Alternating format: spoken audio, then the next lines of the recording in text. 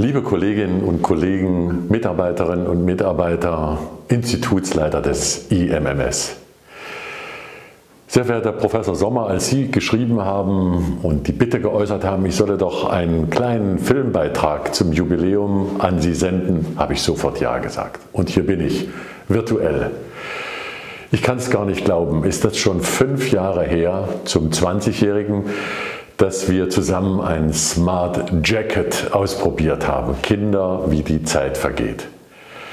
Und jetzt sind sie 25 Jahre alt, eine Erfolgsgeschichte. Das IMMS steht als Brücke zwischen Wissenschaft und Unternehmen.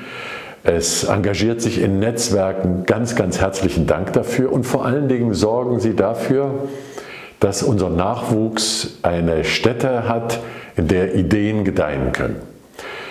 Ich habe gelesen, 200 Mitarbeiterinnen und Mitarbeiter sind über die 25 Jahre beschäftigt gewesen. Über 400 Studentinnen und Studenten haben sie betreut. Und all diese Menschen arbeiten daran, dass die Wettbewerbsfähigkeit, die Innovationskraft Thüringens voranschreitet.